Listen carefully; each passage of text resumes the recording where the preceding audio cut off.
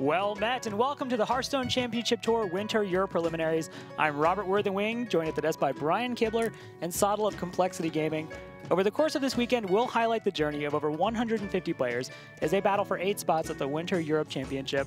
Uh, Brian, obviously been a little bit of time since we casted together. I believe it was the World Championship last November, but I'm ready to get back into it. How about yourself? Yeah, I'm excited to see uh, not only the, the impact that League of Explorers has on the metagame, but also uh, the reaction that players and the fans have to the new Hearthstone Championship Tour structure. Right. It's going to be very interesting to, to kind of see how this pans out for the year. Uh, Sottle, now, you are one of six casters chosen from a pool of over 150 to join us here for the Winter Preliminaries. You excited to be here? Uh, excited is, is an absolute understatement. I'm delighted to be here. I want to give a big thank you to, to Blizzard for the opportunity. Uh, there's a lot of us guys out there that started out as community casters, really worked our way up, and this is a great opportunity for us to be able to work uh, alongside legends like Brian Kibler. There's that there's that British wit that I'm uh, I'm glad we have here. So thank you, Sottle. Excited to cast with you as well. Uh, so Brian, you mentioned the Hearthstone Championship Tour versus Hearthstone World Championship. What's the difference? Honestly, not that much. At the end of the year, there's still the Hearthstone World Championship waiting for all of us. 16 players battling for a share of a million dollars. Uh, it's more kind of Hearthstone Championship towards how we get there, which is uh, now obviously ranked play seasons, Hearthstone Community Cups, Hearthstone Majors, but now seasonal preliminaries and seasonal championships. So uh, basically, we're going to, every few months here, find one player from each of our regions to travel to the Hearthstone World Championship at the end of the year, where they will battle for that money. Yeah, the really cool thing to me about this is that it takes the story of who will be playing at the World Championship at BlizzCon at the end of the year and, and spreads it out. So, you know, we're going to know by the end of next month several of the competitors for the World Championship already, rather than sort of having everything dragged out toward that one big event to the end of the year. Right. Obviously, that's a huge difference in the way it's been done so far. I think it'll be a lot more interesting. Also, uh, the bigger difference here, I think, to the players probably is the fact that they can basically compete in these seasonal championships, which will award a prize pool of $100,000. So uh, pretty big difference here. So this weekend, Europe, obviously Europe preliminaries, which eight of these players will advance to the Europe Winter Championship taking place next month. Uh, $100,000, and that's going to be something that is on everyone's mind here today. Yeah, I mean, all the players here obviously want to both get a share of that prize money as well as uh, you know their chance to advance to the uh, European Championship, which will be next month. Right, as you see on the screen there, that is March 18th through 20th. And again, big thing, obviously $100,000 prize pool, huge. But the winner does get their invitational spot secured to BlizzCon. So afterwards, uh, you know, maybe they can take it a little bit easy, scout some competition, uh, maybe play some Overwatch there. Yeah, chill out, play some Overwatch. Plenty of other fine Blizzard games that you can spend your time on once you've done your job in Hearthstone.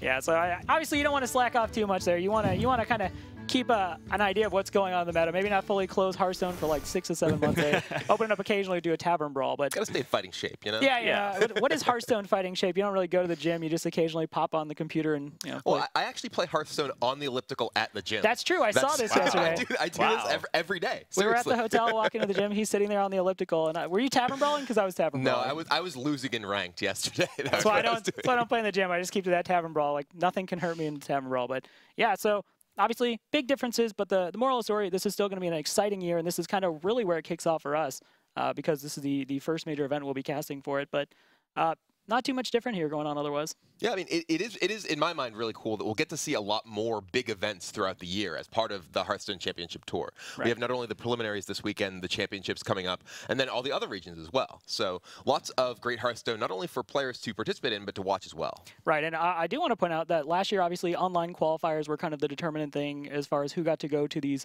regional championships. But this year, they're all taking place at local fireside gatherings all across, obviously, right now, Europe. Soddle, if you had a chance to kind of scout out where some of these are taking place? Sure. So this is happening at 20 different fireside gatherings spread out all the way across Europe. And it's not just the major European cities that you would like London, Paris, Madrid, etc. It's everything from you know, the western tip of the continent in Portugal all the way over to Eastern Europe in, in Ukraine and Romania, etc. Um, so it's a really big effort to make sure that everyone had like a comfortable environment that they could travel to easily to be able to play this. Um, and if you have had to have a little bit of a trip, at least you get to take in a beautiful European city, or at least the inside of a gaming bar in a beautiful European city. It's also a great chance for uh, for fans to to meet some of the players who they may see participating right. in these events as well. Uh, if you go to one of these uh, fireside gathering locations, you may be able to meet some of the players you, you've only seen play online. Right, so uh, helping us to break down the action, of course, in his stylish jacket is the man, the myth, the legend, Frodan. Thank you very much, Robert. Greetings from the tavern here. We welcome you guys to the Europe preliminaries for the beginning of the Hearthstone Championship Tour. My name is Frodan, and this weekend, all weekend long, we're going to be touring all across Europe to get to know some of our players. Right now, I am here to get to know Hakim from the Netherlands to talk to them about the fireside gathering that's happening over yonder. So, Hakim, welcome to the show. Thank you, Frodan. So uh, I want to talk to you about the atmosphere right now. And what's it like setting up? So can you go ahead and describe what's happening over there in Holland? Well, we're uh, all very excited here in uh, Utrecht in the Netherlands. Um, we have been working since uh, 8 in the morning to set everything up. Oh, man. and uh, yeah, it was an early morning. Sure, we're having and, an early morning ourselves here in California, but we're you know we're I, brightened up and ready to go with, with I can imagine that.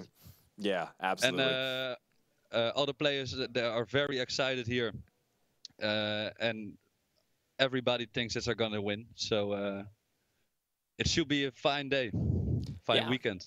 What's the most exciting thing for you personally? I, am assuming that you're also a Hearthstone fan, and being able to organize this is a, it's really a big yeah. part of passion as well. Uh, so can you go ahead and talk about like what you're most anticipating for in the upcoming days?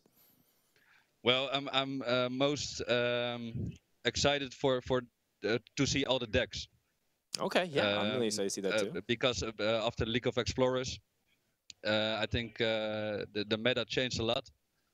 So I hope to see some of that in this tournament. I, am definitely sure that we will, and the Casters will go ahead and walk you guys through that in just a second. And I want to ask the last question here is, who are some of the players and the stories local to the Netherlands, whether you know directly from the country or maybe around it, you know, Belgium or other places? Who's mm-hmm. there mm -hmm. that you feel like would be the local hero that people should cheer for? Well, obviously uh, we have uh, Thijs NL, uh, semi-finalist, uh, semi-finalist at BlizzCon. Yeah. Uh, so everybody here is rooting for him, but also for the other six guys that are uh, competing here.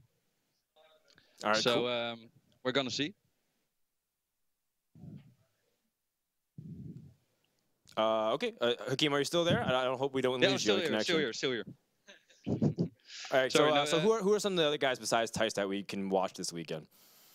Uh, we have uh, Thijs. We have uh, Fordex. Uh, take a look. Sorry. No worries. I can wait here all day, man. Uh, we have the local tavern hero, Xaos. You say Sato? Vortex.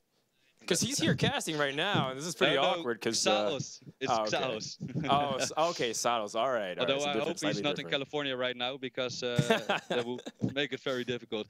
And sure. we have uh, loads of other uh, good players here. Awesome. Well, I, I like, completely believe it.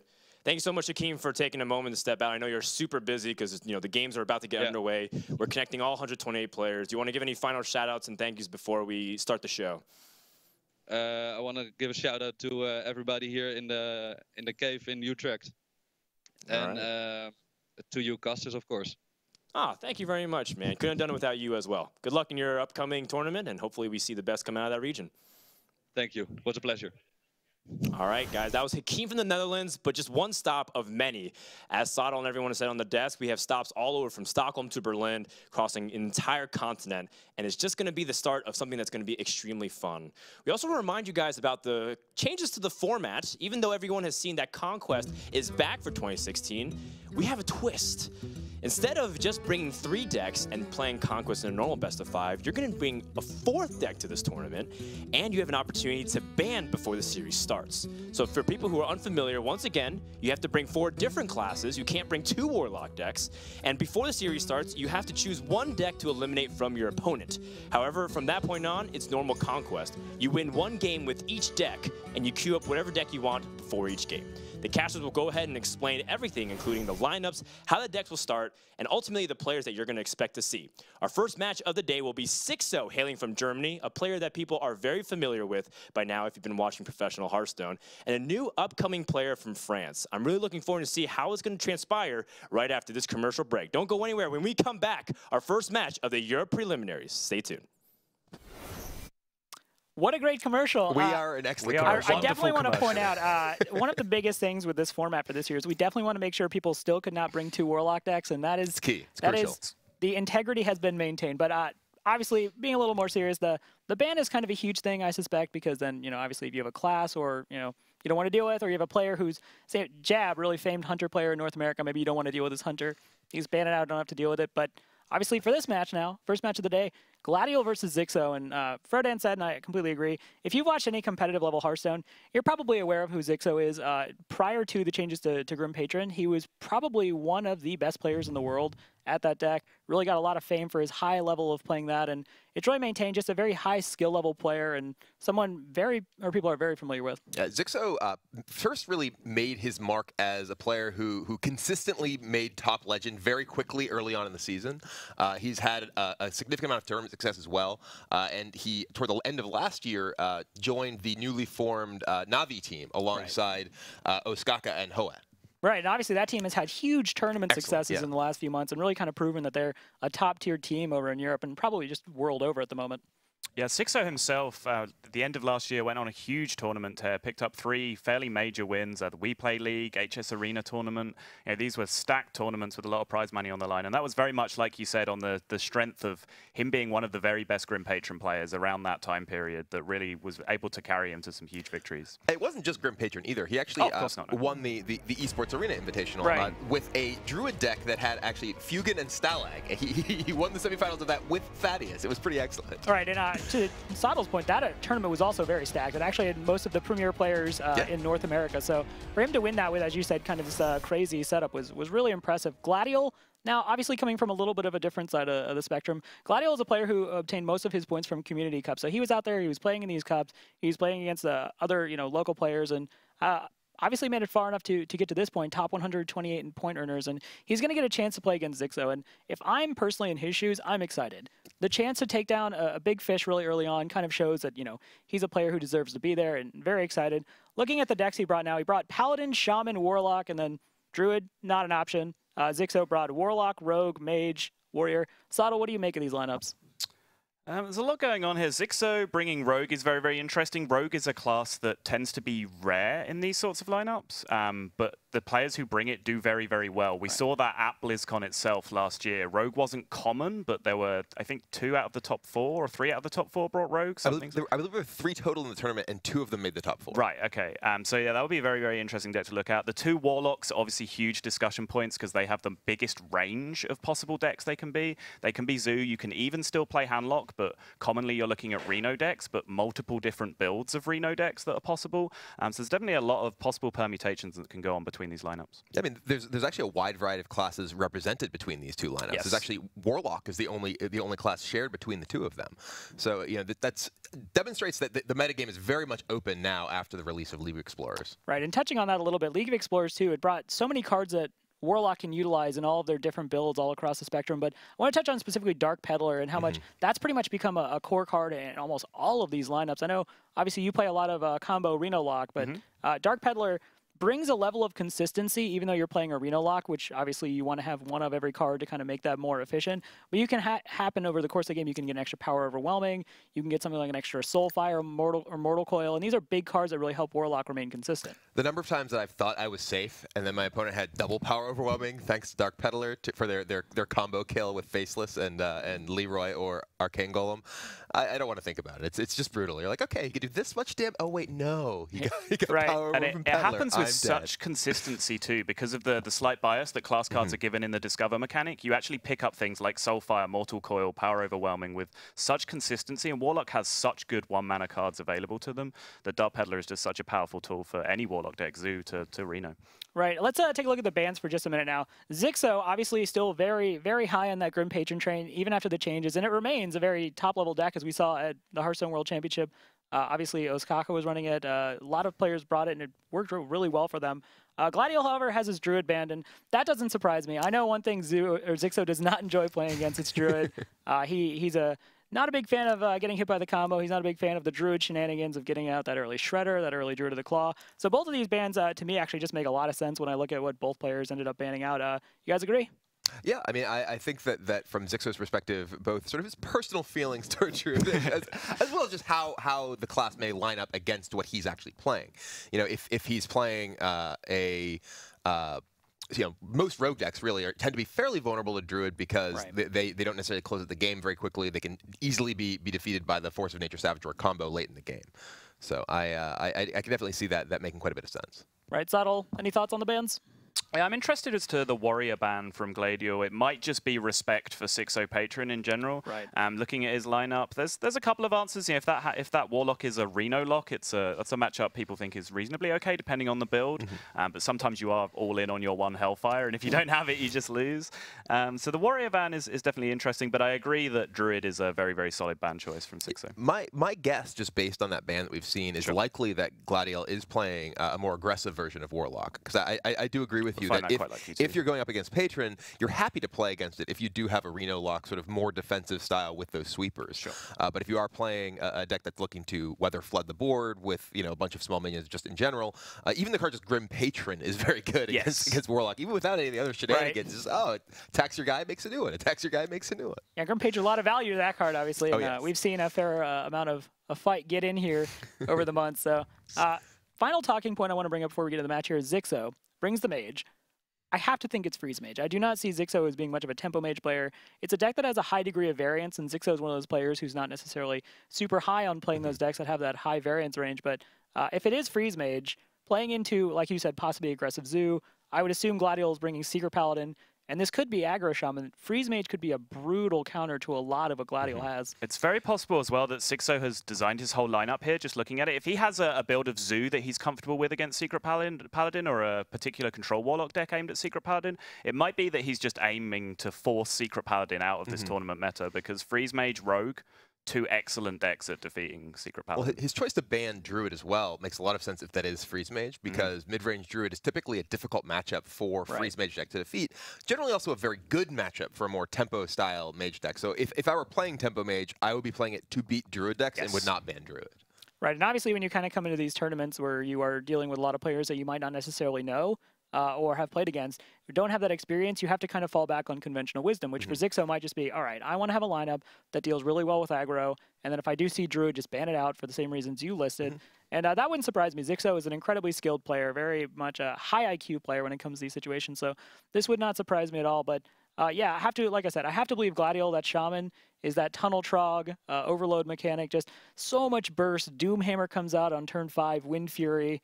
Uh, Finley possibly giving you a hero power like Druid and just does a ton of damage. So if he is in fact running this very aggressive lineup, I do believe Xixo would have to be who I believe is favored going into this. I mean, Trogs do rule, so you, really can't blame him for, for playing aggro Shaman. So. That's uh, that's one of the most satisfying sounds I think we got out of League of Explorers. That and I love it. that I love it. we're gonna be rich. That's that's just my favorite, but Well, is it so? Is that your favorite card in the set? well, no, no, no. It's my favorite card. My favorite card in the set is is Elise getting the monkey. It's just the greatest thing of all time. You, you realize Elise is not actually a dragon, Brian. Yeah, but Elise can get you so many dragons. Like, by, you know, you just get the monkey, and then every other card is a dragon.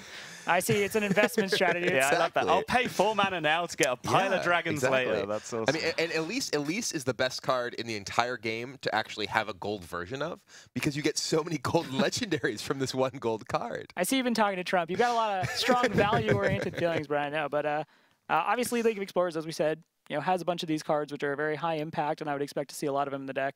Uh, even for Secret Paladin, which was a super strong deck around the Grand Tournament, Keeper of Uldaman has just made that deck ugh, ridiculous to deal with on ladder. I actually think Keeper of Uldaman is one of sort of the quietly most important cards in, in that deck, uh, and one of the most impactful cards from League of Explorers. One of the ways that you could easily combat Secret Paladin prior to the release of League of Explorers was actually just playing big minions of your own. Uh, like Dragon Priest, for instance, was a, a deck that, that I had a lot of success beating Secret Paladins with until the release of League of Explorers. You could just play a Twilight Guardian, Right. you know, Velen's Chosen something, just get some big guys. But but now, not only do they, you know, sometimes have uh, Peacekeeper to, to you know take take out your big minion's attack, but with Keeper of Uldaman, they can just get through any big minion you build, and it doesn't even matter. So it, it ends up giving the deck a lot more ability to deal with situations that were previously fairly difficult. Yeah, that's a story of my ladder life in the last few days last season. It was just, all right, Innervating at Druid of the Claw, Giant Bear, that, that bear's a 3 3. You know, Sorry, he's. 4 6, that's too big. I mean, Please. it's kind of like a bear trap now. Your bear was trapped and became what comes out of a bear trap. I see you've really been working on this pun game since the World Championship. You have clearly leveled it up. You are ready to go. uh, Sottle, obviously, you've never had the, the opportunity to cast with Brian here, but No. Brian is actually a pun master, not just a dragon master, a pun I don't master. know, if, I don't know if Okay. I goes that far. I don't know if I go that far. Brian, don't be modest. Don't be modest. All right, I look forward to learning from the master then. I'll try and step up my pun game by the end of the broadcast. Yes. Right. So, Sottle, uh, obviously, I'm thinking Xixo's probably the the person I'm favoring here. What do you think, though? Yeah, definitely have to go with Xixo. I think um, the lineup that he's brought, if we've evaluated his strategy correctly, I think it's paid out in this first matchup. I think he has a nice looking lineup to go up against. And obviously, just in terms of experience and tournament wins, he's in a very, very, very, very good spot to win this game. Yeah, no, and uh, obviously we're just waiting on the players to get set up at their respective fireside gatherings. Uh, you know, these are a lot of mechanical hoopla to make all this stuff work. We, we, we are trying to put together a tournament that's taking place across an entire continent. it's really multiple tournaments taking place, and we're just presiding over them. But yeah, uh, the classes have gone away. Uh, yeah, so obviously Xixo, uh, we all in agreement then that we think Xixo's going to take this first match. I mean, or- it's it's it's difficult to to you know choose. Oh well, this player who who, who I don't know, and then versus this player who, who we know to have been very successful and very strong. I, I do think just from a uh, a perspective of looking at uh, these two players, you know, Xixo as this this very well known player who comes in with lots of both big tournament finishes, ladder finishes, uh, versus gladial who who got here based on results in community cups primarily. I think it's, it does show sort of an interesting dynamic of the various ways that players can make their way to the Hearthstone Championship Tour. Right, and obviously playing on ladder is a totally different uh, experience from playing on tournament. I haven't played in a tournament forever. Mm-hmm. I think since like the second week of closed beta. But uh, Sottle, I know you're someone who competes uh, regularly in in some of these tournaments. Uh, what's the difference you think between playing in, in something like ranked uh, play versus community cups? Um, it's generally a smaller, more contained meta that you're dealing with. So if you want to, if you're making a push for high legend on ladder, you need a deck that's good against the field of decks. Um, whereas in tournaments, you're kind of predicting a smaller tournament meta, and we've seen people very recently have success with that sort of thing, such as Purple at DreamHack. The Malylock read on that tournament just absolutely blew the tournament apart. Right, we actually are going to jump right into game one here. We see uh, gladial rocking the sick hair. Loving. I actually may change my vote. I think I like this uh, for gladial now, just because of the hair game. You got some hair envy there, Rob? Or? Uh, you know why we got to bring this up on the desk. Uh, we can see there from Xixo's hand. This is uh, that freeze mage. Yep. And gladial's going to open up with Secret Paladin. And as much as Secret Paladin tends to play more the aggressive style, this is actually a deck that can get the leg up on or, uh, freeze mage pretty easily. Yeah, I mean, one of the, the, the ways that Secret Paladin can really beat any deck is just getting, you know, one of those powerful curves early on and uh, playing against a deck like Freeze Mage that will need specific answers early on to deal with them. Yeah, the problem that Secret Paladin tends to run into, though, is that they don't really carry much damage from hand in the deck. They have True Silver at most. Even then, sometimes people are not running any True Silvers in Secret Paladin. So if the repeated board freezes and board clears come down, it can be a hard time. Now, that said, gladial does have a pretty good opening hand. He even has that uh, Mysterious Challenger for turn six. If he saves the coin, he can just play it down on five. Uh, one of the biggest issues I feel like uh, Secret Paladin runs into is generally the lack of having an owl. Uh, that, well, now here we go. I was gonna roll. say, right on cue, uh, Xixo, uh, you know, is going to have to, you know, probably predict that owl at some point if he plays down the Doomsayer Frostnova, and that is a huge tool for gladial to have access to. Yeah, I mean, uh, uh, Ironbeak Owl is extremely effective at dealing with one of the best clears that is possible out of the Freeze Mage deck, which is, as you mentioned, Frost Nova plus Doomsayer. But with the Owl, you can silence the Doomsayer, and then, you know, the world was, will not end, Yes. and uh, all your all your minions do stay in play. Uh, what is it? Uh, what is the thing if he if he doesn't actually uh, proc it? It's like he says, "Did I miss it?" Yeah. Like, did I miss what- it? This is a, this is If it, attack if it actually sound. gets Yeah. to attack, Did yes. I miss yeah, it? yeah. We saw Xixo there on the last turn just play down the Thalnos. Now, obviously, Thalnos is a big tool in Freeze Mage. Really bumps up how much damage you can do once you start getting into the world of reduced spells via Emperor Thaurissan and chaining all the spells together. But Xixo's hand really doesn't have anything to do early on. Right. So on turn two, he just figures he's going to play the Thalnos. That's going to put pressure on the board, pop Divine Shields, deal with 1-1 tokens, and more importantly, draw him a card. And Freeze Mage really needs to cycle through to get to all those options. Yeah, Blood Mage Thalnos is, is mostly important in matchups where you're expecting heal and life sustain and you need that extra damage to reach. You're not really going to need it against Secret Paladin. They're not packing healing in the decks. so you're not going to need it for those burst combos at the end. Might as well get it out there to cycle. Right, and Xixo has that Doomsayer now, and it's probably one of those things, like I said, when you're at least playing ladder, you do not see a lot of Owl in Secret Paladin, so it might not be something he's going to super play around. And uh, plus side him is his Acolyte of Pain is going to get to draw two cards. Always good. I mean, the, a lot of the, the tools that uh, the Freeze Mage deck relies on are all these things that do draw additional cards, which allow you to ultimately assemble your combinations of cards like uh, the uh, Novas plus Doomsayer that we were talking about before, get you to your board clears like Blizzard or Flame Strike, as well as you know, obviously the key cards like Alexstrasza to uh, reduce your opponent's life to kill them in a single turn. Right, so that is uh, generally the win condition you want to be looking for for Freeze Mage, is kind of that burst over the course of two turns. But Uh, we see here gladial has a lot of cards still in hand for someone playing Secret Paladin. It seems like he's pretty committed to, at the moment, holding that coin for the next turn. Uh, what do you like here for this play, Sottle? Yeah, it's an interesting turn. Like you said, he's, he still has a lot of options in hand because he's he's had that Beak Owl that he needs to hold on to. He drew the Secret Keeper on turn two instead of turn one, so it kind of stuck in his hand. I think developing the Knife Juggler here is definitely correct. He needs to get some sort of pressure going as soon as possible, and he's just going to pick his poison in terms of the secrets here. Goes for the Noble Sack over the Competitive Spirit, which uh, I'm, I'm pretty happy with here. Although Competitive Spirit, you'd be expecting the Frost Nova Doomsayer turn from your opponent. This is their turn to do it. So since you have the Owl, that Competitive Spirit actually has a lot of value in that sequence of events. Right, I think maybe what gladial's considering here is that with the Noble Sacrifice, he then has to commit two mana if he doesn't play that combo to dealing with the mini-bot, and it just limits what he can do overall, yep. puts him on three mana. If Xixo just plays another Secret here, that's really a fine turn uh, for gladial. And gladial will have next turn that, uh, as we said, that coin Mysterious Challenger.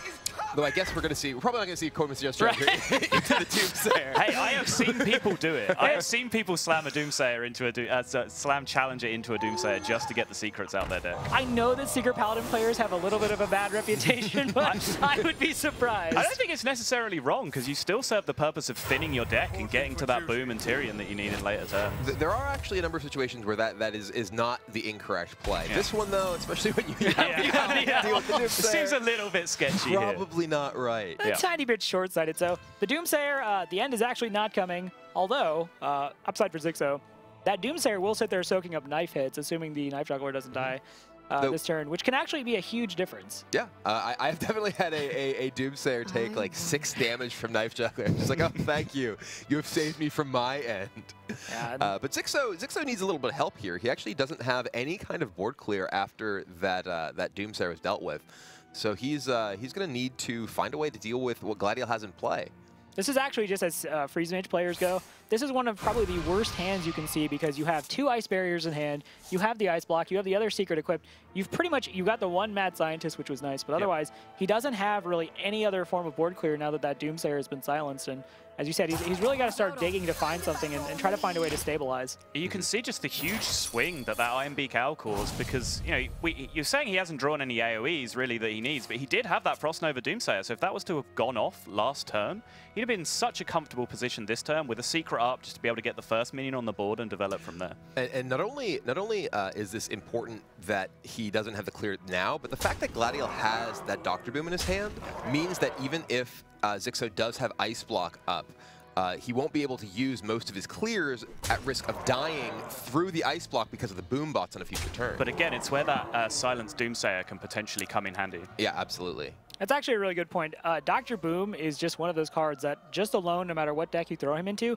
is super, super solid against Freeze Mage. And he's one of the few cards that has that degree of upside because of the way the secret interaction works and the, and the boom bots. You can risk just taking up to possibly 8 damage that uh, you know you're not protected from. So and we actually see gladial just decides to put down Mysterious Challenger and uh, doesn't feel like he needs to use Dr. Boom just yet. He would have had to use the coin to get it. But this is still incredibly strong. And uh, Xixo, it's pretty much next turn. He really needs to draw something solid. And Healbot's not bad for this turn, but probably needs to be looking at more like Flame Strike. Blizzard actually would probably be better at this point. Yeah, Blizzard looks like the best drawer at this point. He definitely needs some way to stall out, but we're looking at a sequence of draws here. Like, no one card is going to get him out of this game. He needs a good chain. I mean, we were talking about how you know, Xixo's Freeze Mage was uh, likely to be very well positioned against gladial's lineup, in part because it typically does have a good matchup against decks like Secret Paladin. But you know, when we were starting at, uh, off the commentary of this particular game, we were saying, yeah, there are certain draws that the, that the Paladin deck can get, you know, and, and the Freeze Mage deck does need to get certain answers. You know, that, that owl really threw a huge wrench in, in, in the plans that Xixo had for this game. Right, and maybe when you're playing on ladder, as you were saying earlier, Sottle, it's, it's something where you don't include the owl because you're just kind of, you want to just have the strongest, most power right. possible. Mm -hmm. yep. But when you are in these tournament settings, the meta suddenly changes, and you have to be aware that players are going to be bringing Freeze Mage. Especially in a ban format. Freeze Mage is a scary deck to bring in a no-ban format because it does have those polarized matchups mm -hmm. that can just blow it out. But if you can just look at your opponent's lineup and say, oh, you have Warrior, I'm going to ban Warrior because I'm playing Freeze Mage, then suddenly it becomes a much more attractive prospect. It's actually kind of amusing that gladial can't uh, actually trade off enough minions to allow himself to actually get both boombots here. and getting both boombots is actually pretty relevant right. against the ice, the, the, potential ice block. Yeah, it's just a strange byproduct of the repentance there, lowering, lowering the Emperor to 5-1. You're absolutely right. though uh, one of them is usually enough. I was gonna say this, Ice Block, this is certainly a reasonable problem to have Yeah. at this point in the game. Yeah, there, Uh, there are worse problems, that's for sure. Right, and Xixo did play down Emperor Thor's next turn. Uh, yes, Repentance came out, so it's a 5-1. It will die here. But he did get a lot of value, had a lot of cards in hand. Unfortunately, when we look at this, again, still a hand with a lot of secrets in it. Just too many secrets, not enough board clears. Yeah, he has he has all of the rest of his secrets and his second mad scientist. Yeah. It looks like gladial's debating whether he, he wants to drop the Doctor Boom and just get the one uh, the one minion, and he, he does not. Uh, He's got so much pressure on the board, I don't necessarily fault him for just Yeah, deciding he's going to hold on to that Dr. Boom. Uh, he didn't even hero Power there.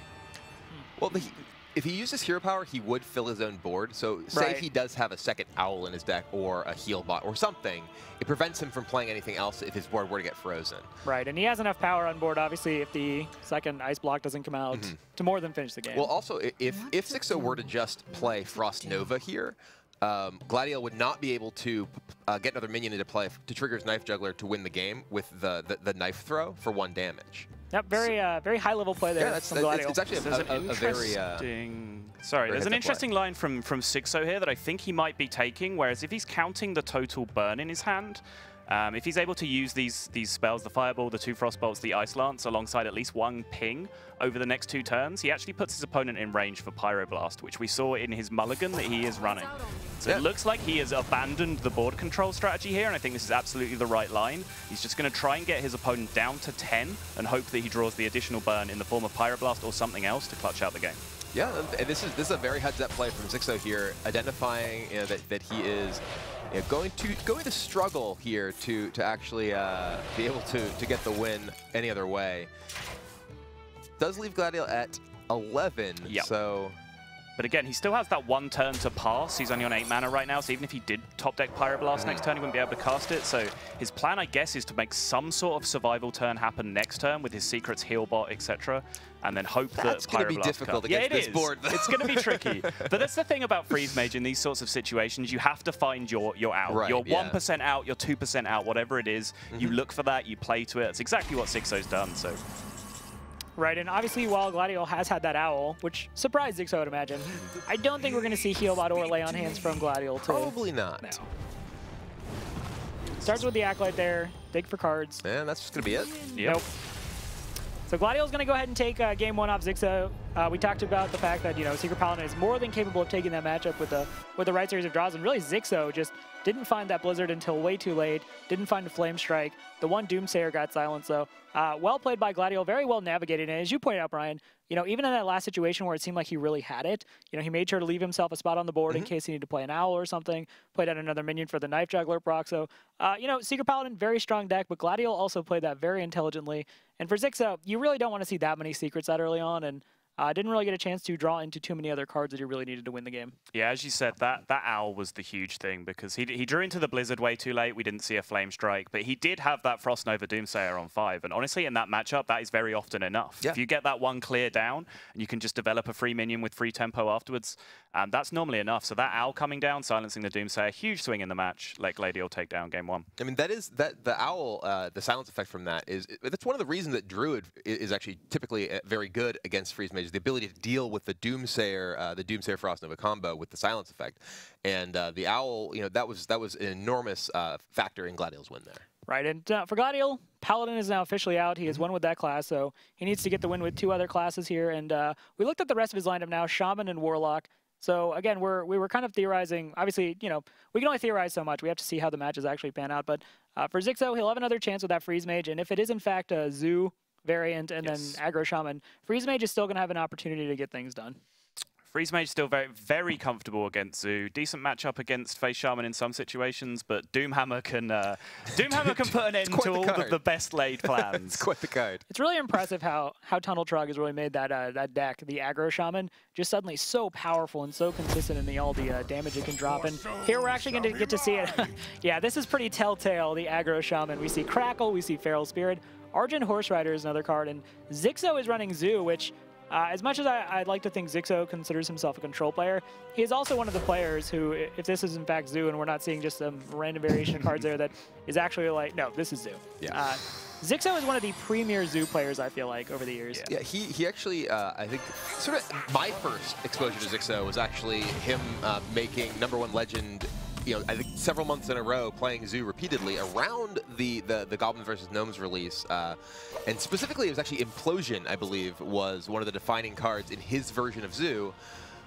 I think it's actually a sub emote in his channel as well, the the imp from Implosion. Yes. But In fact, at one point, Xixo was rank one legend simultaneously On on N- different NA, yeah. EU, and Asia with a Sea Giant Zoo. So, uh, unfortunately, his skills in Zoo have not translated to drawing a particularly solid opening hand in this game.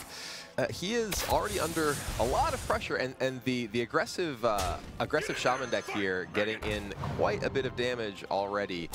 Uh, the Zoo deck, one of the advantages it has in a lot of a lot of matchups is the fact that it is able to use its life total as a resource with life tap and, and sort of eventually grind you out as it's you know presenting a lot of threats to the board. Your life total is not a good resource to use No. in this matchup where you know there is uh, there are a ton of burn spells and even the hunter hero power I was gonna from that say, Sir yeah. Finley. uh, Sir Finley came down, and gladial just immediately chose the power. He knew what he was digging for, and uh, if Xixo life taps, you know, it's like he's getting double life tapped now by that hero power, except he's not getting a card for his Yeah, troubles. This is this is already a terrible situation for Xixo. You know, he he had a he had a poor hand to begin with. Uh, and then, you know, his opponent had a, a, a pretty strong start. You know, Finley into two drop and now double Leper Gnome. Um, that that Defender of Argus, though, is, is pretty big. Now he has a huge taunt wall that he's able to defend himself with. And I am a huge fan of that attack to face right there. Yeah, he he for understands that there is no point messing around dealing with the control game here. He has to just trust that those taunts are gonna are gonna hold, and he needs to activate the race now with that Doom Guard that he has in hand. Right, and you see Xixo's face. Xixo has the face right now of a man who understands he is against the wall, and he has to make these kind of really, really hardcore plays. And uh, Lightning Bolt is not at all what he wanted to see. I don't know what he could have possibly hoped was in the hand of the Shaman at this you're, point. you're looking back at the Shaman hand like, oh, I'm sure he has no removal spells in that hand at all. There's only like 12 of them in the deck. Right, you're positive he has like no Doom Hammers, no Argent Horse Riders, no spells. Uh, maybe they're just Wisps. Yeah. And even the Wisps, I think at this point would be okay. Yeah, here, here gladial looks like he's deciding exactly how he wants to use his turn. He can potentially Lava Shock and trade in two of his minions to get rid of this uh, this big taunt. It does allow him to attack face with Juggler, which it looks like is what he's going to do. It does it does unlock his one overloaded crystal for next turn, uh, but more importantly, it allows him to actually get damage in with that Flame Juggler here. And now Yeah, if he it's- if he randomly put in Fire Elemental, he can play next turn. He can, yeah. That does three damage. I'm just throwing it out there. Yeah, so it's interesting. So using that Lava Shock meant that he skipped the hero power this turn, which you might you know, evaluate as two missed damage. But as you said, it allowed his Flame Juggler to get through to face, so he kind of makes up that damage that he lost. And it gets a taunt away. So if there were, if there were a, a charge minion he drew, or something like a Doom Hammer he drew, and uh, Xixo. Xixo, Xixo seeing that card now play, that is a pretty obvious tell to him that that's uh, that should be a burn spell. yeah, no no play that turn. I mean, it could be Doomhammer. That's a card that he might not not necessarily play that turn because he wanted to use his hero power theoretically. Right. Uh, but but yeah, I uh, have to imagine that he's he's just hoping to fade some damage here because that's that's what he really needs. I think Xixo right now is looking at his hand, looking at the board state, and thinking, okay, if I'm lucky, I have one turn to live here. So how do I put my opponent on that clock? Where if he doesn't have it next turn, I have to make sure that I do. And uh, Doomguard is a good way to do that. It is. It's pretty solid, yeah. Quite a bit of damage here, putting gladial down to eight. And now this is what's on top of his deck. Yep. Lava Burst and... No! Oh, oh no! wow. Trogs may rule, but they don't do any damage right here. gladial needs one more point of damage, but Tunnel Trogg is not going to be it. Right, and can he? Let's see now. Is there a way that he can actually do no? Because he can't No. clear the he can't clear the Doom guard. He Guard. can't lava burst anything relevant here that prevents lethal, so this is just game. And Xixo, after drawing two four drops and a Doom Guard in his opening hand, I believe, against Face Shaman that had a fast start, has forced his way back into the game and Yeah, taken. I mean, this is a, a really big turnaround. I think the the, the real uh, the real clutch po- point here was when Xixo played the Defender of Argus and recognized I need I need to create a clock. He he didn't he didn't mess around with attacking into minions. He's just like, no, I'm going to attack you for 10. Yeah. Well, and that's something he did in the Freeze Mage game as well. Is he mm-hmm. quickly identified, all right, I'm behind. How do I get back into this? And you know, there are situations where you're down in games, and you just have to decide right then and there. The the win condition no longer becomes board control. It becomes I have to piece together enough damage to win the game. And both games thus far, I think Xixo has shown a really great knowledge of where he's at in the game and what he has to do to crawl back into it. Right, and identifying those sort of situations when you're behind is the difference between you know, a 50% win rate player and a 65% win rate player. That's where some those situations where they really push, and we've seen Xixo identify his outs twice now. Once mm-hmm. it hasn't paid off, and once it has. But that's what you really need to be doing every single game as a top Hearthstone player. Yeah, I mean, when uh, identifying when you can turn the corner, basically. Yes. It's like, Right. okay, this is this is how this game is going. I've played it like this to this point, but now things are different. Things have changed, and and, and now I have to I have to take this different route to victory. Right, and I, you know, as we saw there, the the two walls of five five really came in handy for Xixo. And thing is, if he traded with those leper gnomes, they were still going to get in damage. So just going face on that turn, I fully agree with you, Sottle. It's a great read. It was something that really quickly turned it around for him. And then playing down that Doomguard as opposed to waiting and trying to get value, because it's one of those things when you have Doomguard in hand, you may think, oh, I don't want to throw away cards. I But- like these cards. I want to play them. Hey, Doomguard. You know what's on. more valuable than, than your cards? Your opponent's life total going to zero. Ah, very Yeah. good. That's actually something that I, that I frequently, when I'm, I'm playing not in tournaments, I, I do that differently. I'm like, no, no, no. what I want to do is just create the situation where the coolest thing can happen. Yeah. So- Speaking of that, we saw in the hand really quickly before we get into this. He had a Flame Imp, Flame Imp, Gormok, Bran. Yeah. So both Flame Imps had been dropped on the Doomguard on turn seven, which wouldn't have mattered. He could have played the Bran Gormok, which would have been really just tasteful BM. he also could have played uh, Bran, Flame Imp, Flame Imp, and killed himself. I mean, that that is all. I don't think that's the way he would have gone. I would probably try to BM my opponent and not myself. Wait a minute. Self BM is usually has a gone so mistake. yeah. terribly That is wrong. that is the tastiest BM, but Yeah. uh, All right. Xixo elected to win that game. So. well, Well. getting into this game, uh, gladial with a turn one Tunnel Trogg. That is the, as we mentioned earlier, the card that really makes the the aggro shaman deck tick. And uh, gladial does have uh, an ancestral knowledge to possibly power it up on turn two and get in some damage, but that loot hoarder from Xixo gives him the ability to remove it next turn with his hero power as well. I like that Tunnel Trogg just being there on turn one. He's like, I didn't do it last game, coach, but put me in. Put me in. I'm ready to go. And Tunnel Trogg off the bench now. And yeah, he's about to he's about to get powered up, I would imagine. Uh, I don't think there's a world where gladial just drops. Do you think he drops out the? I- it- this is a tough spot because if he does just cast Ancestral Knowledge, he attacks face for three. Then Xixo gets to kill the Tunnel Trogg with the Loot Hoarder plus Ping next turn. And then gladial gets to do nothing next turn because Right. he's overloaded for two. right. So I, I actually think that there's there's a, a reasonable argument for actually just playing the Blood Mage Thalnos here. Uh, because he doesn't want to lock out his next turn as well.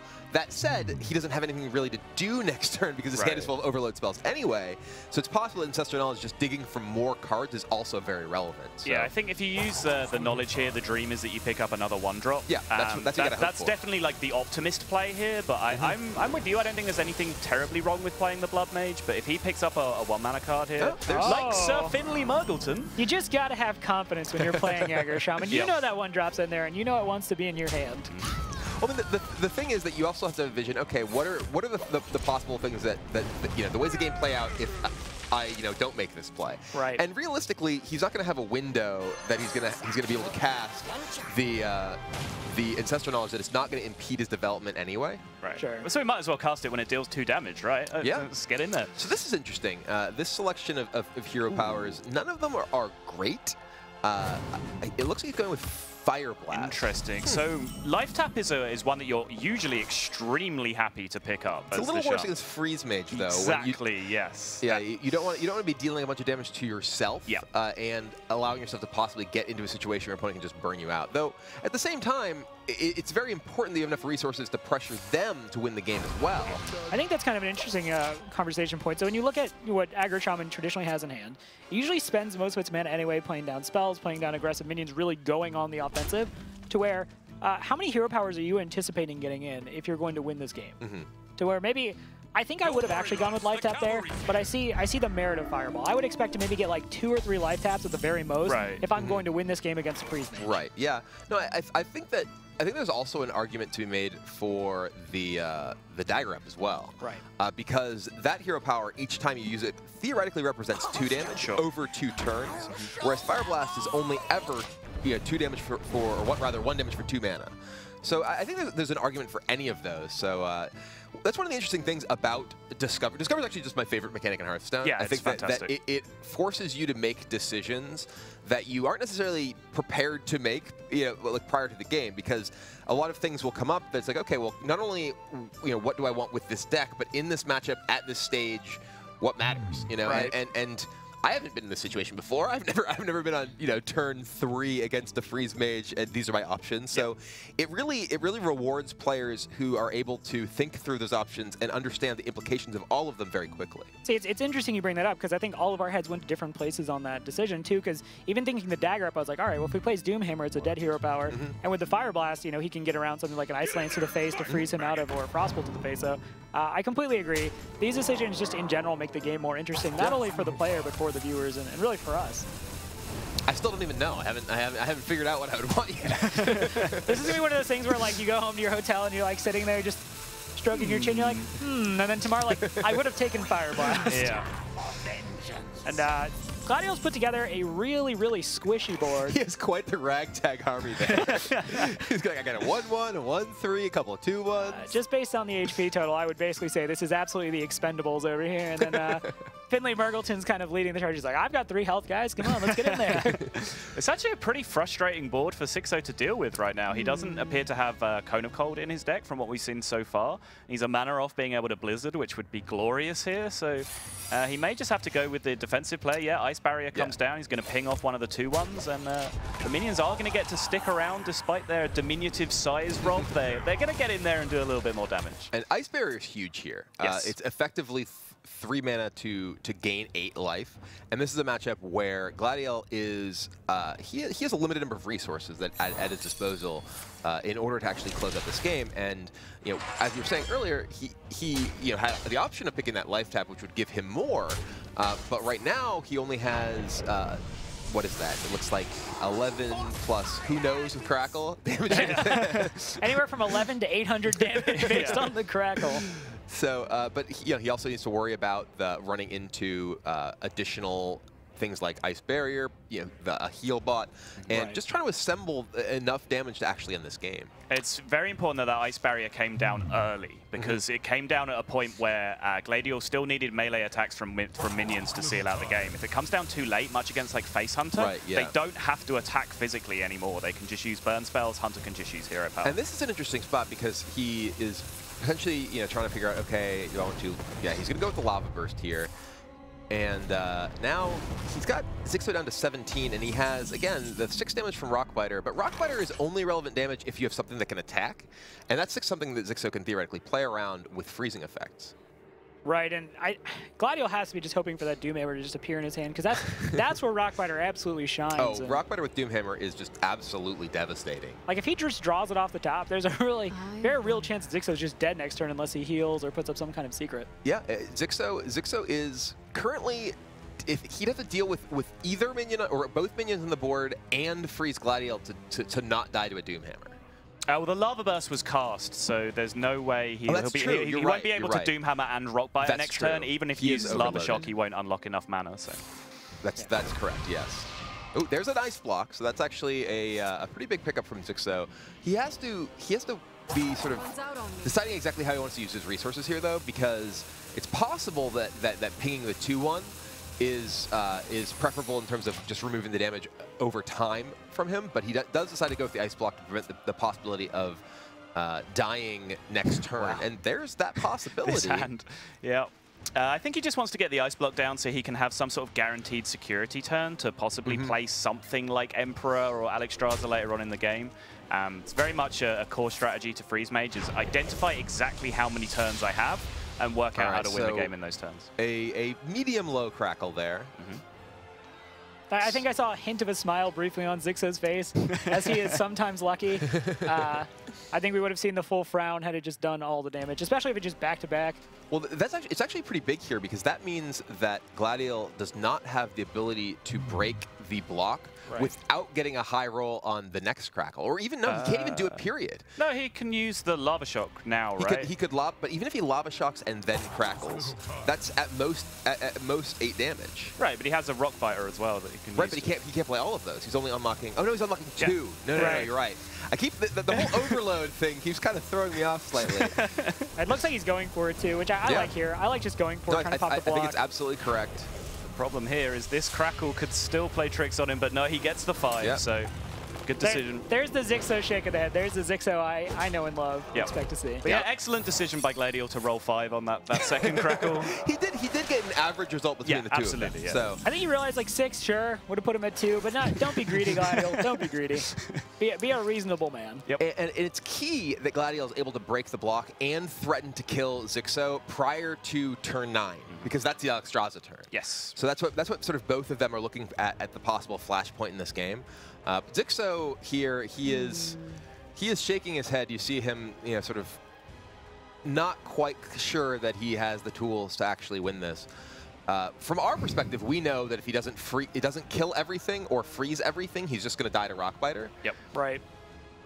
But it looks like he is. Whoa. This is interesting. So he's just going to, I guess, we're, gonna- we're going down the play to win line here. Yeah. He's saying you have no damage whatsoever in hand. The only real extra thing this opens up, I guess, is Abusive Sergeant that kills Yeah. you. So it's not too big of a risk. But there it is. The rock Rockbiter will be enough. And Xixo is now going to be down two games to one against gladial in this series. Yeah, I think the only thing that could have been in gladial's deck that wouldn't have killed him would have been the Spirit Wolves. Am I correct? And is that the Uh, only thing he- that he just could've- doesn't? Well, he did. He did just draw a, a, a Leper Gnome that wouldn't have won the game that turn as well. Totem but you could ping it, couldn't you? Oh, yeah, you're right. No, you he, could- did, he did have that hero power. You're right. Yeah. Totem yeah, Golem it wouldn't have actually, killed that him. That actually would have killed him too. Right. Yeah. Totem- Yeah, yeah, there's- Totem Totem Golem, Golem or Flame Juggler Tunnel, as Tunnel well. Trog. Is Totem Golem even running that list anymore? I feel like I haven't seen it in forever. I believe so, He yeah. didn't- he didn't right. Flame Juggler is brought in in place of Knife Juggler most of the time. Totem Sure. Golem is still in the deck. It's just too strong. Yeah, there, there, there are some versions that do play cards like Knife Juggler or Whirling Zap-o-matic, but it's mm-hmm. exactly that sort of situation why I think that those cards are, are inappropriate Right, for that yeah. deck. Because if you draw them after the first couple of turns, they're not going to be that, that final damage that you so often desperately need to finish your opponent Right. off. There's also, I want to say, Kolento, who you know we might run into over the course of this, is actually running a version where there's elemental Oh, yeah, destructions the, in there. the, the all burn Doomhammer blow up the world, and he actually has heal box in his deck too. no, he does that. I don't think he runs like Argent Horse Rider, Mm-hmm. so there's there's room for variation. But yeah, uh, gladial does take that game. Had really kind of any draw off the top, like I said, except for that Totem Golem or the Spirit Wolves. Uh, anything he got was going to win him that game, and that's kind of an issue uh, when it comes to playing Freeze Mage against Aggro Shaman. Is Freeze Mage is really good at kind of dealing with these like small build-uppy decks like Zoo. It's really good at dealing with like aggro like Face Hunter because you have those heal bots, but Aggro Shaman just does so much damage, and I mean gladial didn't even get Doomhammer. No. Yeah. Yeah, I mean, he, he had he had, and as we were saying, you know, he didn't even have like a particularly explosive start. You know, uh, Xixo was able to easily deal with the early tunnel trogg, but he, he just was able to just get enough damage in, and and uh, Xixo's hand didn't quite come together as well as he might have liked. right? So uh, for gladial now, one one game away from completing the big upset. And uh, I do want to say though, as much as it would be an upset for for Xixo to lose, gladial has played this really well. It's clear he absolutely belongs here. Uh, where he got these points from, it's it's no question at this point. He's a very high level player. So. Uh, wouldn't wouldn't be surprised now. It's not as surprising having seen him play. Obviously, we didn't know much about gladial coming in, but I think we've learned a fair bit just so far in this series. We've, we've learned that you were envious of his hair. Uh, not like this. Uh, yeah, yeah. Uh, well, you know, the hair makes the man. So that's what I hear. That's that's that's where uh, Rob Boss came from. It was just you know Brian, we said we'd never talk about that. None of those happy little cosplays. Uh, yeah, so for gladial left, uh, it's his Warlock deck, which we haven't seen yet. So, yeah, uh, it, could, it could be anything. well, be a boat. wi- it could be anything that's a Warlock deck. It true. could not be a boat. so yeah, uh, based on the lineup we've seen so far, you know, I'm inclined to believe it's going to be Zoo. But this is one of those things where, as casters, you know, we speculate and then we expect to be wrong. So he's probably just going to drop like Malylock on us. And Xixo now, From the lineup, though, he does seem to be that player that wants to ask the questions. He wants to be playing the aggressive decks. He wants to make his opponent have it, put, you know, push all in, etc. So Zoo seems like it would be a nice fit for him, but as you say, there's such a range of things that it could possibly be. I mean, Warlock is a class that, that, that has so many different options, as we said. You know, you can have the very aggressive decks, you can have very control-oriented decks, and you have everything sort of in between. Right. Uh, you, you know, there, there's even as far as you know, com- when you talk about combo Warlock, it could actually be multiple different combo Warlock decks. which which one? It's like, wait a minute, are you playing Malygos or are you playing Faceless or, or what's going on here? So, Right, and the thing is, is uh, gladial hasn't revealed his deck either. Mm-hmm. So because it is Warlock and there's all those options, if you're Xixo, you can't even just pick one of your decks and be like, I know I have the good matchup here. Right. But Also, you have no information on the correct mulligans yet because you don't know which warlock you're going up against. So Right.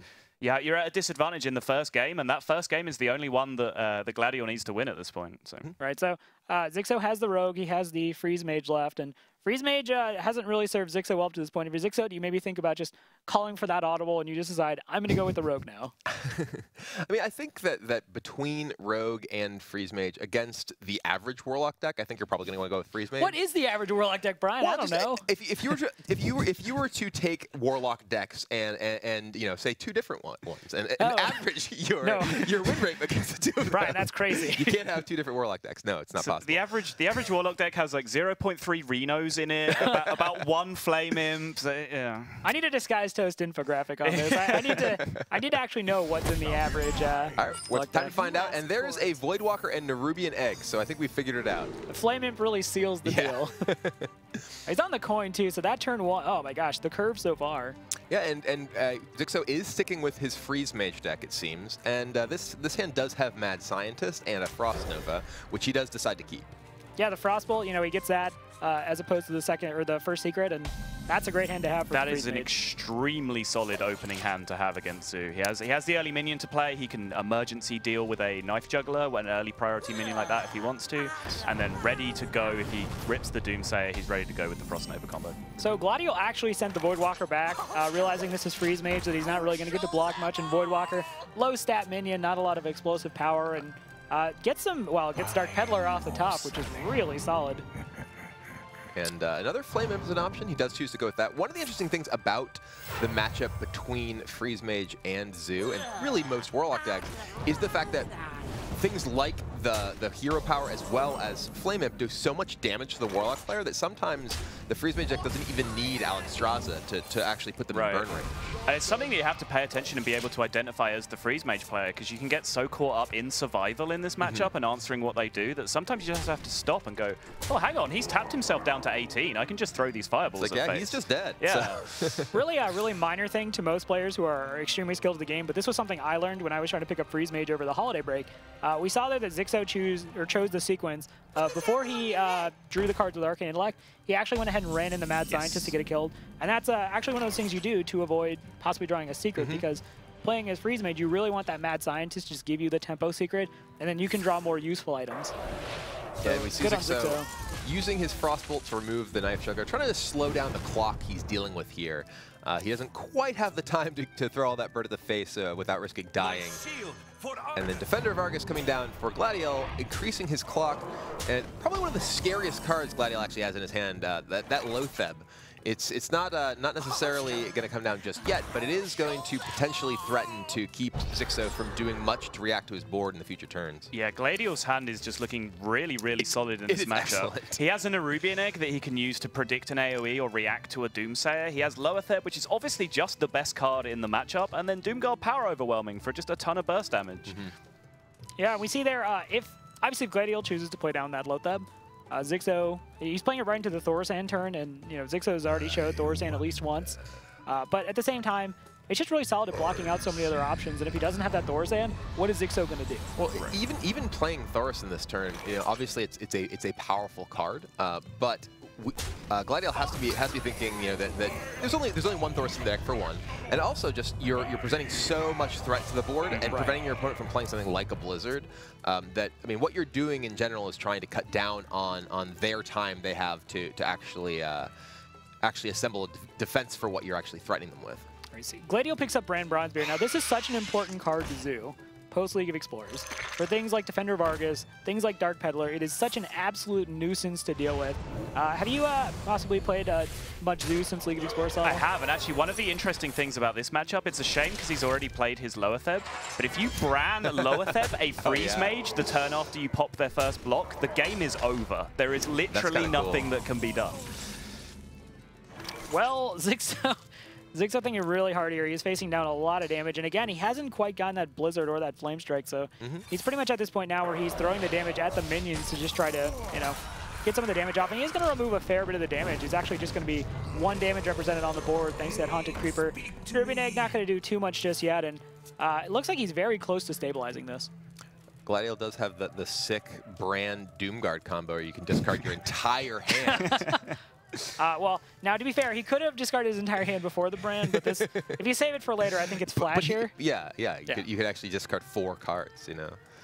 Uh, which is probably something you wouldn't want to do. But if you're on ladder one night, you just really decide like I'm going to show them what a what an absolute like bad man I am. I'm going to discard my entire hand, and I didn't even need it to win. It's actually a pretty serious decision for gladial to be to be made here, and it looks like he's deep in thought this turn because he can push a lot of pressure to face with the Bran and Abusive Sergeant.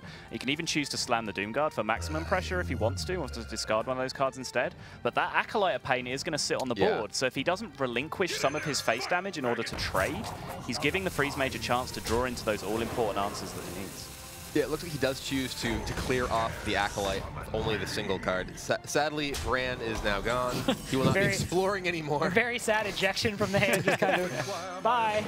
Uh, And- we are going to see the Archmage come out. Archmage Yeah, this is Antonidas. this is potentially a, a, a big swing turn for Xixo here because now uh, gladial can't attack with anything. We've already seen the the Loatheb come down, so he has he has no non-combat ways to really stop Xixo from kind of going off here, and. Uh, with that, with that reduced fireball in his hand, Xixo may be able to, to actually play three different spells this turn if he really if he wants to. He can play Fireball, Ice Barrier, Arcana like to pick up three fireballs potentially. He could also just potentially throw fireballs at face.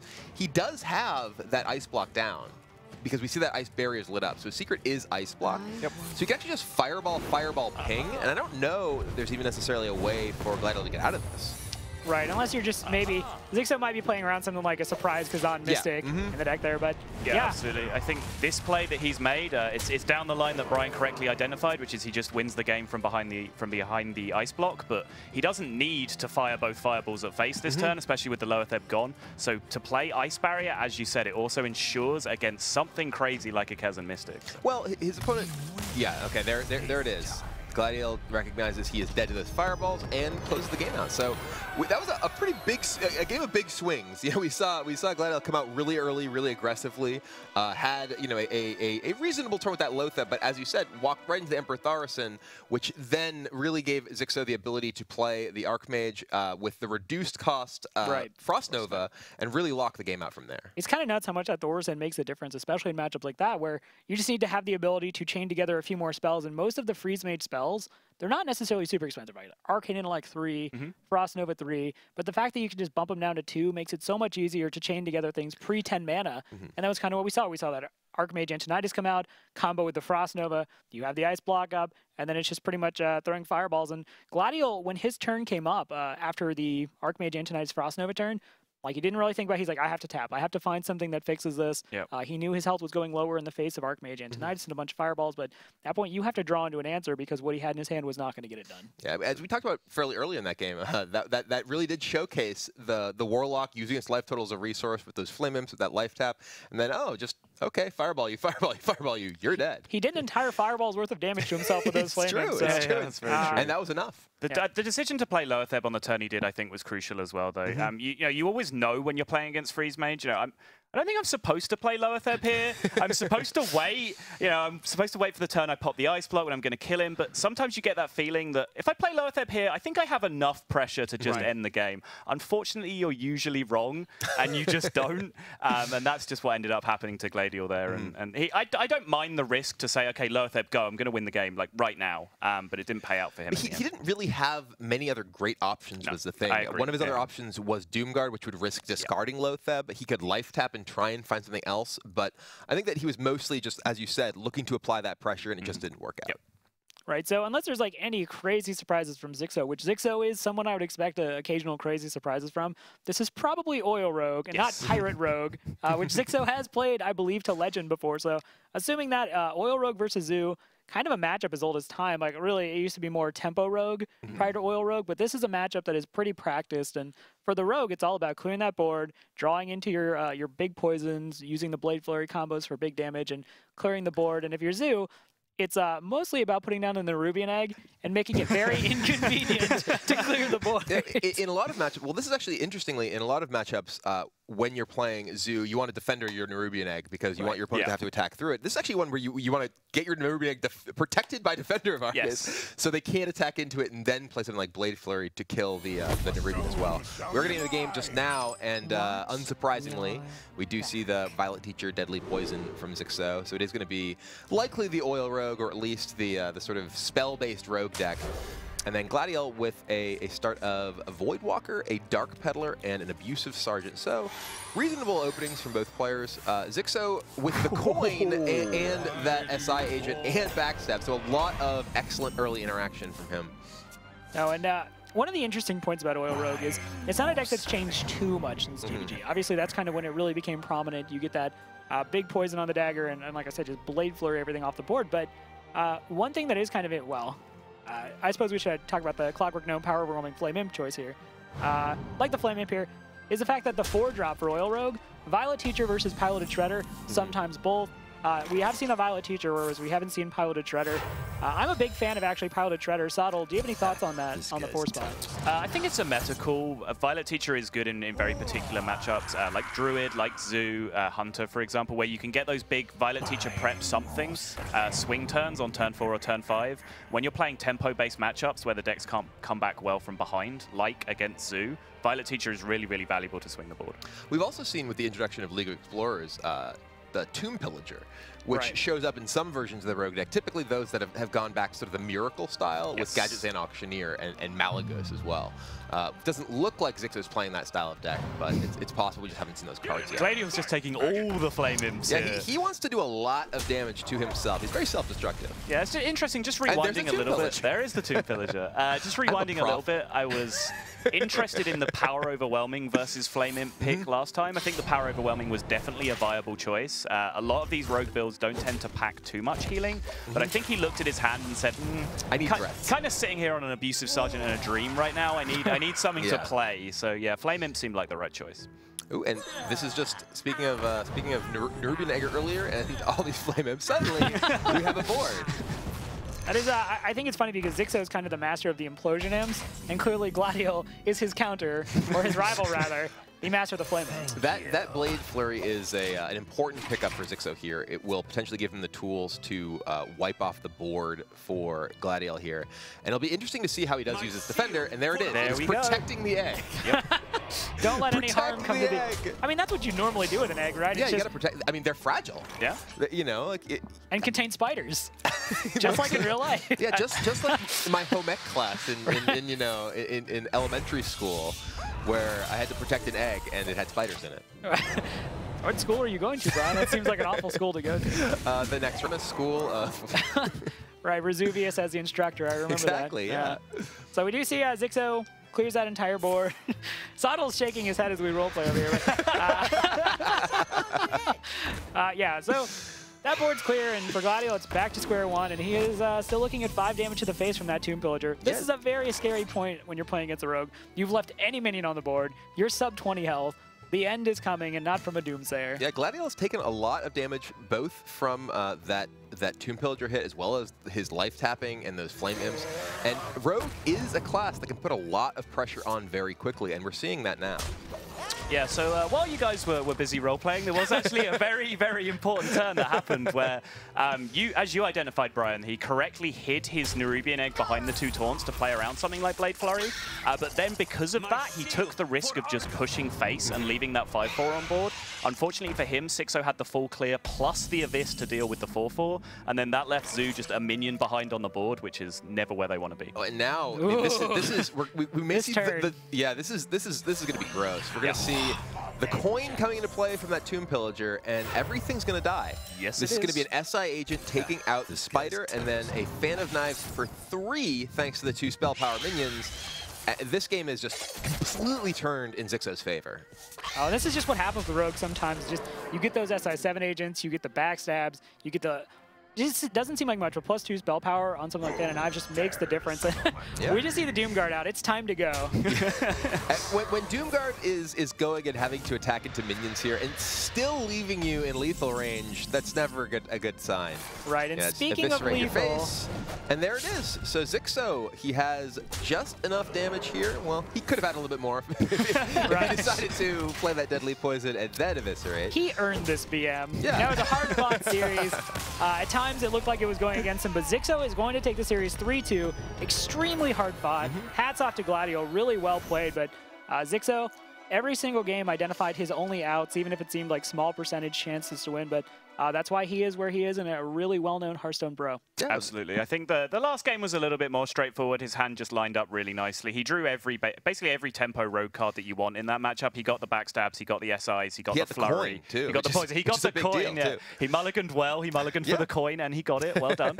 um, so yeah, it, the, but the other two games much much more complex. Um, victories to pick up, and as you said, identifying outs, playing to win. Um, huge strength of Xixo's. Yeah, but gladial is not yet out of the tournament. Uh, we are we are playing double elimination here, if I'm uh, if I'm not mistaken, and Right. uh, he will have a chance to battle back and potentially still be one of the competitors at the the Europe Championship in, uh, next month. Right, and even if this is the last we actually see of gladial on stream, this was a very strong showing for him. He came out I here. agree. Uh, one thing I really liked about him as a player is all of those situations where the, the turns required the time to think them through. He never rushed them. He sat down. He really quickly identified his outs. And then there were points where he just knew that he either had to tap or play down a Doom Guard, and he just slammed it down. So uh, really hats off players so far. And uh, I think playing against Xixo is definitely something that is going to help him in the long run, kind of seeing someone play at that level.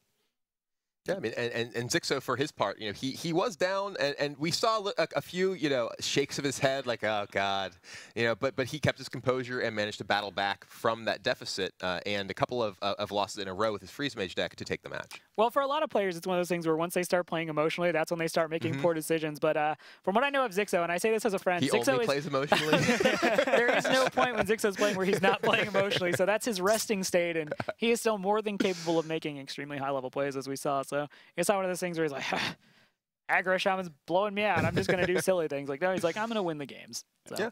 ultimately allows him to win the series. And uh, for Xixo, he's going to continue on now and try to make it to that top eight, as we were talking about, get to that Winter Europe Championship taking place on March 18th through 20th, win the $100,000, possibly the seat to BlizzCon. Uh, I know he is a big fan of the Hearthstone World Championship, really wants to be there, really wanted to be there last year and didn't make it. And so I think uh, getting off on the right foot is definitely good for, for Xixo's psyche going forward. Sure, I think Psyche's an interesting word. I think Xixo's a very proud man, and I think like a Hearthstone World Championship happening without him doesn't sit right in his brain. He thinks he's one of the best players. He wants to be up there, so this is definitely his opportunity to prove that. yeah. Right, and speaking of uh, really well-known European pros, uh, actually next matchup we have uh, Thijs versus uh, it's me, David C. Okay. A player I've never heard of before, uh, but very, very powerful name. You know it's him. It Yeah. is It David, David C. C. All right. Uh, we'll have to see how how Thijs fares. Obviously, uh, Thijs was one of those players who, at uh, the Hearthstone World Championship, brought kind of a unique uh, lineup, which most players did not bring. You know, he brought that uh, Dragon Priest, he brought uh, Freeze Mage, and he brought Patron, I believe, was the third Yes. deck. And that was kind of a unique lineup for the time when everyone was thinking, oh, you bring Druid, you bring Paladin. So, uh, very curious to see what Thijs actually brought to this matchup. And uh, obviously, it's me, David C. Since we don't know much about him, it's hard to, to speculate on what he brought. But uh, yeah, any any predictions on what Thijs possibly brought? I don't know if you talked to him much, Sottle. Uh, I mean, I've, I've talked to him a little bit, but I, I watch a lot of his stream as well. Um, obviously, he's well known as a Druid player. I think he's he's comfortable bringing Druid to any tournament where he thinks it will be solid. There's also the the, the factor that maybe he thinks that's too predictable. People will expect Druid from him, but there's a lot of different options. He can play a ton of different decks. All right, and we actually have an interview standing by. Uh, Frodan's going to be talking to Xixo about his uh, victory in that last series. Thank you very much, Rob and crew, and a job well done to kick off our first series. Hope you guys really enjoyed that series. I did myself. You know, I've been known Xixo for a couple of years as we get ready to have him on the line. And just watching his journey from 2014 to start off 2016 on the right foot is definitely heartwarming. And of course, gladial will have another chance in the lower bracket. Right now, I'm uh, joined by Xixo, who is waiting in the meltdown in Berlin. Xixo, how's it going, man? How are you feeling after that pretty close series? Eh, pretty good. It's been a really close series. I didn't want it to be that close, and lineup-wise, I was so heavily favored that I was really worried after getting two major losses. hmm hmm Yeah, it looked like some series or some games of that series you weren't feeling very good. But did everything, assuming um, you know, outside of how the games played out, was that according to what you were expecting when you faced against a player like gladial? Yes, I expected people to play those decks a lot. That's why I made my lineup against it. But yeah, sometimes you draw all secrets and mad scientist. That's right. Well, I mean, a couple games definitely rolled your way. A couple of them didn't. Um, but I want to kind of step back and look more at the bigger picture of things. I mean, we can talk about lineups and strategies to the day we die. Uh, but I want to know more about you, Xixo, specifically the fact that this is the journey from 2014 where, you know, you were starting off as a rookie and people really didn't know who you were. And now 2016, uh, people really do know and understand what you bring to the table. In fact, Secret Paladin is often attributed to you, uh, for better or for worse, based off that performance. What, what, you know, this year coming in 2016, what's different? You know, what, what did you bring? What did you change during the offseason? Has anything been different from 2015 to, to coming into this year's Hearthstone World Championship? I mean, the preparation was just decks that would be popular to counter them, but overall, yeah, it's like Hearthstone has been becoming a job. Like 2014, it was like I did school and did it on the side, but since I'm doing it full time now, it's a lot more work and I put a lot of more time into preparation as well. Is there a sense of pride coming from you know the fact that not only does Navi have the reigning world champion, but you also have been a big, large instrument for practicing with him and, and even hyping him up as a really good player. And now it's like your responsibility to keep carrying on that torch, both for your team's sake as well as your practice partner's sake. I mean, of course, I'm proud of how Oscar plays recently and how he's been playing for two years. But I don't think that I have any mm, like anything to prove just because my teammate is good. I'm like happy they do well, and I try my best to do well as too. All right, uh, and I guess the last question is: uh, outside of you, who are the players within you know the Berlin area? Because we know we're really emphasizing the firesides and how people are showing up locally. Uh, who else is a really strong player that showed up to Berlin that you have to watch out for if fans are watching and they're not familiar with these players? Well, the most famous local players would be Faramir, um, maybe uh, Tobias, he's a German player, mm-hmm. but they didn't qualify. But there are people outside of Berlin who came here because Berlin is the only fireside gathering in Germany. So Gawa and um, some other somewhat known players are here. All right, awesome. Well, uh, Xixo, good luck in your upcoming matches. Uh, it means this is the first step in a long journey, but we wish you all the best. Do you have any final Thanks, shout outs man. before we let you go? Yeah, this SteelSeries headset is really comfortable. You should consider getting one. All right, congratulations, Xixo, oh, and again, we wish you to the best of luck. That was Xixo oh all the way from Berlin, Germany, in the Meltdown Berlin. Really awesome to see him begin his journey for the Hearthstone Championship Tour. Let us know what you guys think about the matches as well. Stay engaged on the conversation, social media by hashtagging HCT, as well as tweeting at us, play Hearthstone, or on Facebook.com slash Hearthstone. I'm Frodan. When we come back, we're going to have It's Me, David C. versus Thijs NL, another David versus Goliath. So don't go anywhere. We'll be back right after this.